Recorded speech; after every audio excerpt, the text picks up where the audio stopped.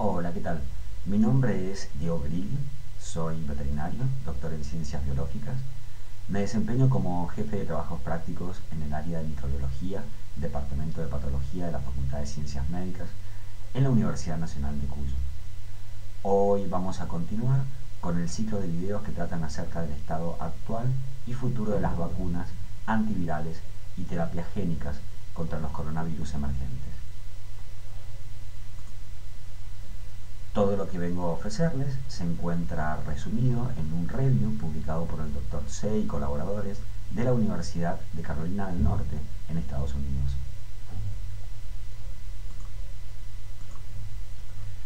Anteriormente hicimos una introducción acerca de los coronavirus emergentes, revisamos los criterios para generar vacunas efectivas, las estrategias actuales de vacunación y los ensayos clínicos para vacunas contra el SARS y el MARS coronavirus. Iniciamos la discusión acerca de los antivirales, cuáles serán los desafíos para el desarrollo terapéutico, los inmunomoduladores, el plasma del paciente convaleciente y los anticuerpos monoclonales. En esta oportunidad vengo a hablarles acerca de los inhibidores de fusión y las proteasas virales, además de análogos de nucleócidos e inhibidores de RDRP. Antivirales. Veremos inhibidores de la fusión e inhibidores de las proteasas virales y, como les anticipaba, análogos de nucleócidos e inhibidores de RDRP.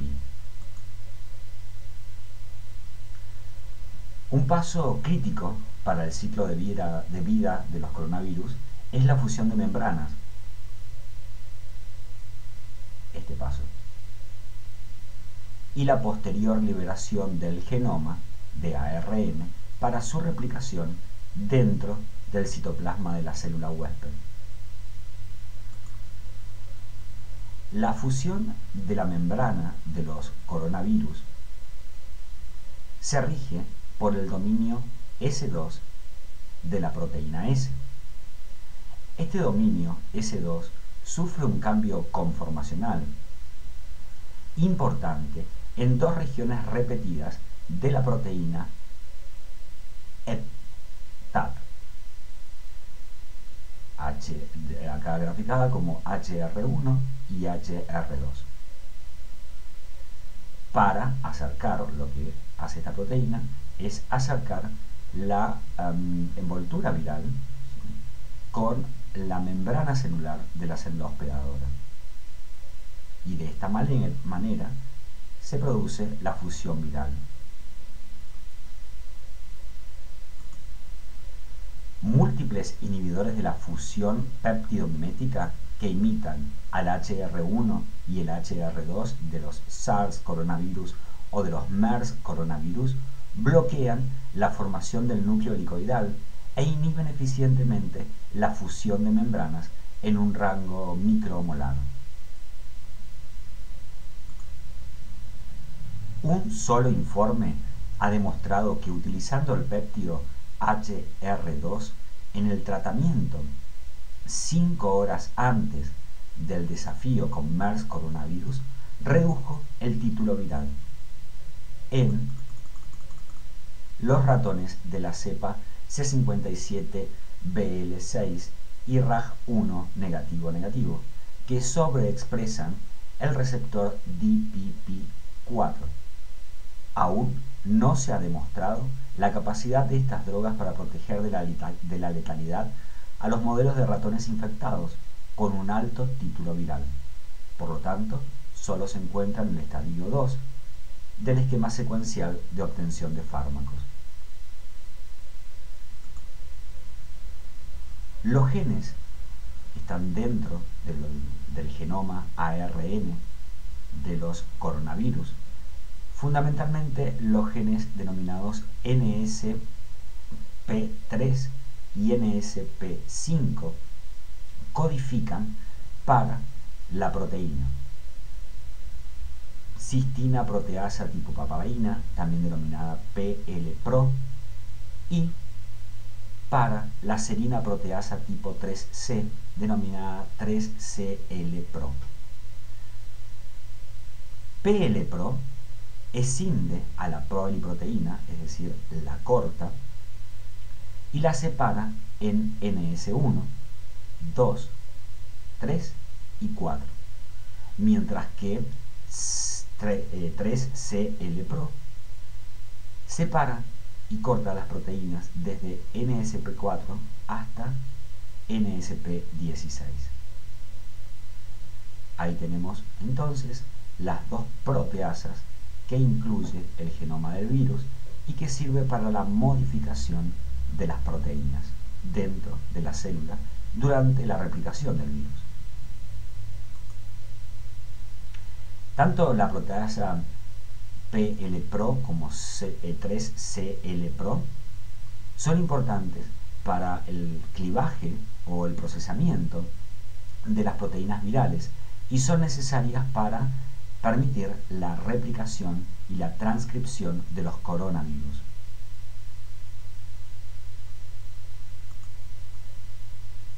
Dado que el procesamiento de poliproteínas es un paso crítico para la replicación y la transcripción de los coronavirus, las proteasas virales han sido objetivos farmacológicos de alta prioridad.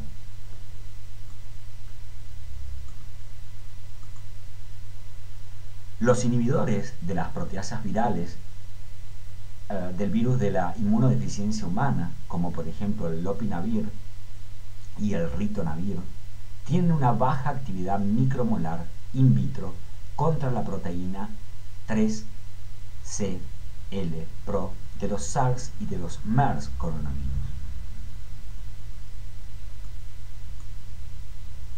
Las pruebas en pacientes infectados con SARS coronavirus han mostrado resultados beneficiosos, incluida la reducción de la carga viral, una baja concentración, perdón, una baja presentación de la aparición del síndrome de dificultad respiratoria aguda y una reducción de las tasas de mortalidad con tratamientos que incluían el lopinavir o el ritonavir. Sin embargo, la mayoría de los estudios de drogas se realizaron con control retrospectivo, a veces con proporciones de género desequilibradas, y ningún tratamiento ha demostrado su eficacia en un ensayo de control aleatorio. En un modelo de monotití, el tratamiento con lopinavir y ritonavir sugirió una mejora modesta en el resultado clínico y patológico, así como la reducción de la carga viral de los MERS coronavirus. Sin embargo, debido a las diferentes consecuencias patológicas del grupo tratado y no tratado, los títulos virales se midieron en diferentes momentos después de la infección y todos los experimentos se realizaron con un número relativamente pequeño, tres, animales de un solo género, macho.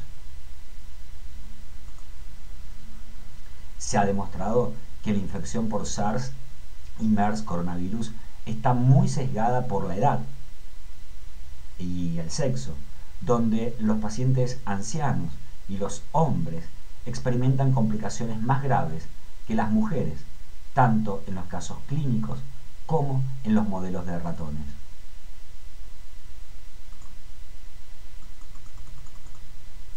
Un ensayo clínico en curso que se realiza en Arabia Saudita ha comenzado a utilizar una combinación de lopinavir y ritonavir e interferón beta 1b para la infección por los MERS coronavirus, confirmada por laboratorio. Dada la importancia de 3CL-PRO en el ciclo viral, esta proteína es un atractivo para el desarrollo de nuevos fármacos.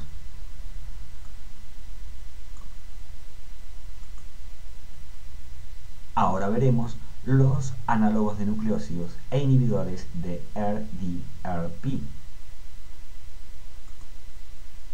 Los análogos de nucleósidos actúan sobre las enzimas ARN polimerasas dependientes de ARN, que se denominan a estas enzimas RDRP y se encuentran dentro de la célula huésped, es decir, interfieren con la replicación y la transcripción del material genético del virus.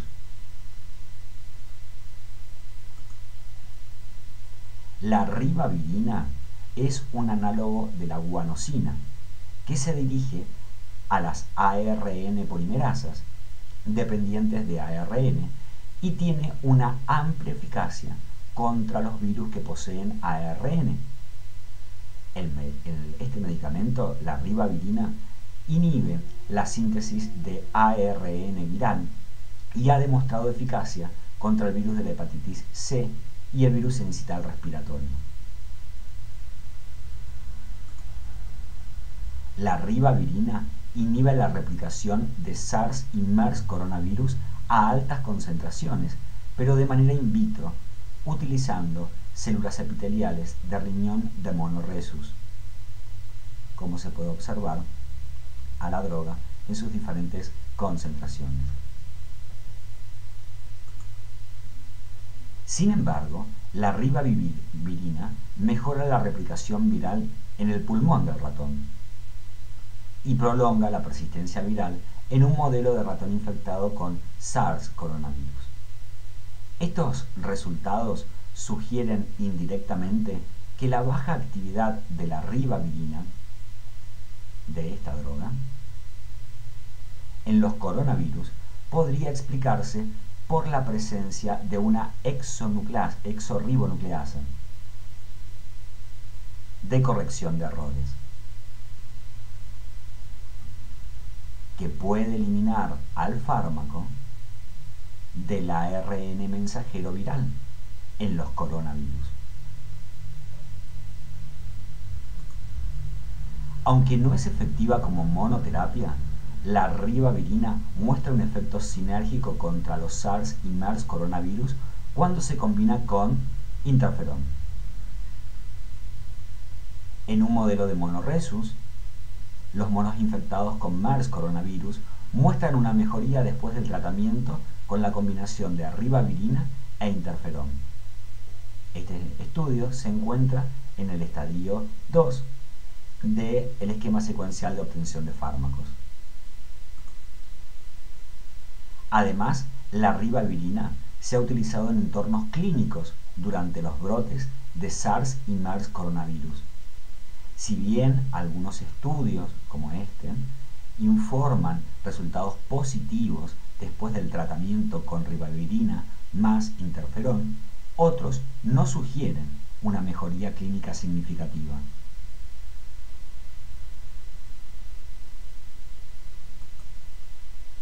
debido a la variación de la dosis y el tiempo de administración y a la falta de controles, la eficacia de la ribavirina en pacientes no es concluyente. Otros dos análogos de glucósidos, el denominado NHC y el denominado GS5734, también conocido como remdesivir han demostrado una alta eficacia contra los coronavirus y son menos sensibles a las exonucleasas del virus. El NHC es un análogo de la citidina y recientemente se ha demostrado que inhibe múltiples virus, incluidos el virus de influenza, el virus del ébola, el virus incital respiratorio. Además, se ha demostrado que tiene un efecto inhibitorio contra los coronavirus alfa y beta, dentro de los cuales se encuentran incluidos los SARS y MERS coronavirus. Actualmente, en desarrollo clínico para los virus de ébola, Remdesivir es un profármaco de nucleócidos. Es efectivo contra muchos otros virus ARN, incluidos el virus Nipah, el virus sincitial respiratorio y los coronavirus emergentes.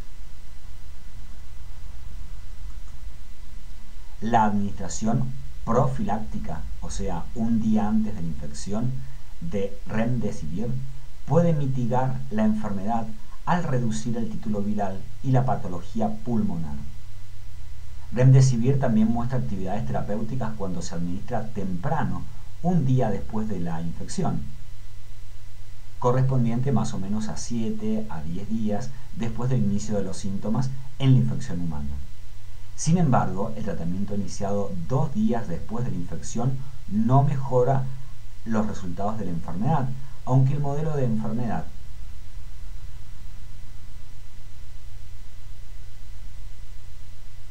es variable. Es importante destacar que Remdesivir muestra una excelente protección profiláctica.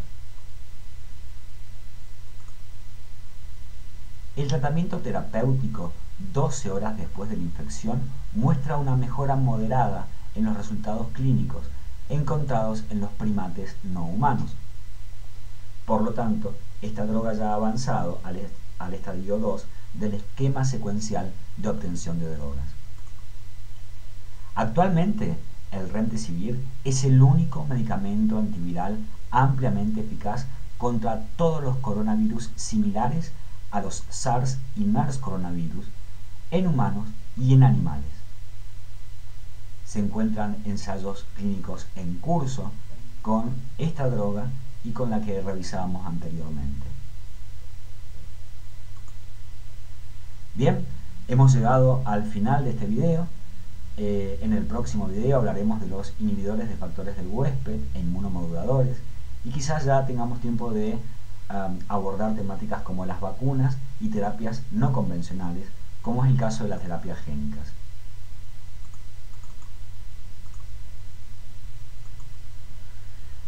Próximamente se viene la parte 8 del video. Si este video te gustó, bueno, dale like. Eh, suscríbete a mi canal de YouTube. Seguime en mis redes sociales, en Facebook, en Instagram, en Twitter.